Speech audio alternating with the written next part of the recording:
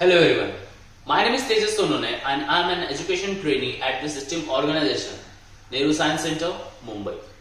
In this facility, we have a show called as Sparkling High Voltage Show and in this show we demonstrate different electric models based on high voltage specifically. So without wasting much of time, let's get to it.